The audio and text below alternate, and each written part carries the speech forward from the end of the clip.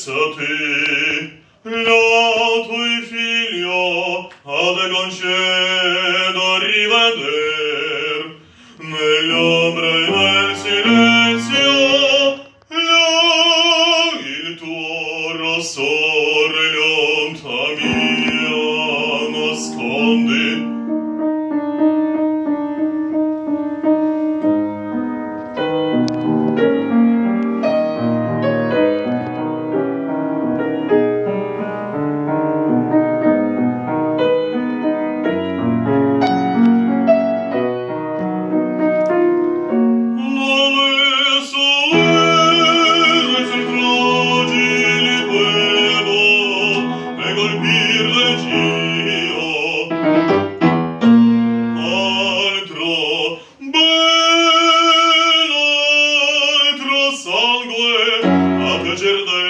Весілля fessa,